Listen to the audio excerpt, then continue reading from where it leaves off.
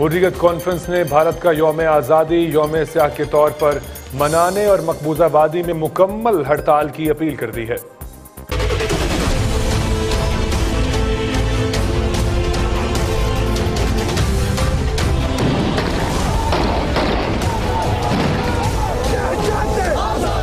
मजलूम कश्मीरी जन्नत नज़ीर वादी कश्मीर पर कब्जे और मजलूम शहरियों के खून से हाथ रंगने वाले भारत के खिलाफ सरापा एहतजाज हैं।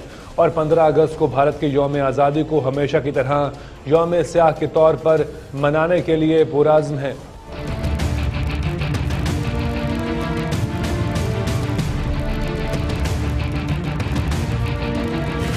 उधर हुरियत क़्यादत भी मैदान में आ गई है और हुरियत रहनुमा सैयद अली गिलानी और मीर बाज़ उम्र फारूक ने कश्मीरी आवाम से 15 अगस्त को मकबूजा वादी में मुकम्मल हड़ताल की अपील कर दी है।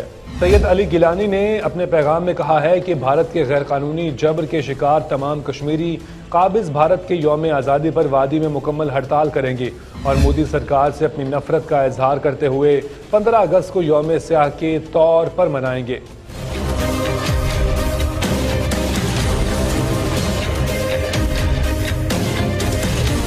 दूसरी जानब, कुल जमाती हुरियत कॉन्फ्रेंस, हुरियत रहनुमाओं और दीगर जमातों ने मकबूजा कश्मीर में पाकिस्तान का योम आज़ादी भरपूर मिली जोश खरोश के साथ मनाने और पाकिस्तान के योम आज़ादी को वादी में योम तशक्र के तौर पर मनाने का ऐलान किया है।